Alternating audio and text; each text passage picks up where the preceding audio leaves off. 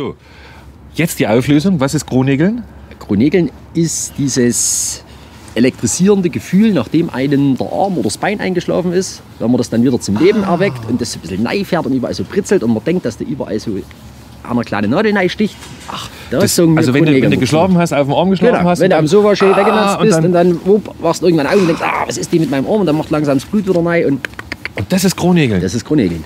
nee, jetzt bist du mir, Jetzt ist mir Kronegeln. Kronegels, genau. Kronegels. Markus, noch was anderes. Du musst demnächst mal wieder in die Sendung kommen. Einmal ein bisschen Ja, berichten von euch ja. hier oben.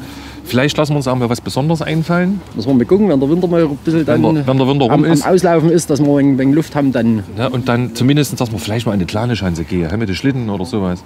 uh, das ist gerade ganz schlecht. Gerade ganz schlecht. Ja, haben sie nämlich immer kleine Chance, haben sie nicht mit den Schlitten zerrammelt. Aber Haben ja äh, keine mal mit dem, mit dem Bobo-Rutscher auf Matte im Sommer. Hat man das direkt schon mal gemacht? Dann, nee, das haben wir noch nicht gemacht. Ja, dann machen wir einen Bobo-Rutscher und wenn irgendwo auf der kleinen Mattenschanze, da kann man mal im Sommer mal eine rote Einheit machen.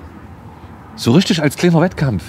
Das wäre doch mal was. Kann man machen. Man kann Ja, ja, wegen Geschwindigkeit hinbauen. Dann messen wir, wer schneller ist. Markus, komm mal her. Also, in diesem Sommer, in diesem Sommer, Ja. Vogtland Late Night Show, Bobo Rutscher Ja. auf der, bei der Schanze. Das, jetzt nehme ich dich beim Wort. Ja, also nicht an, an irgendeiner Schanze, die wir finden, aber wir machen das im Sommer. Vielleicht Sommer. noch an der und gucken, wer der schnellste ist. Und ich. gucken, wer der schnellste ist. Ja. Das wird das Ding. Das wird das Ding im Sommer, das Highlight im Sommer. Dein Wort? Oh, das wird geil, das wird geil. Also dann, bis Ja. bald. Tschüss.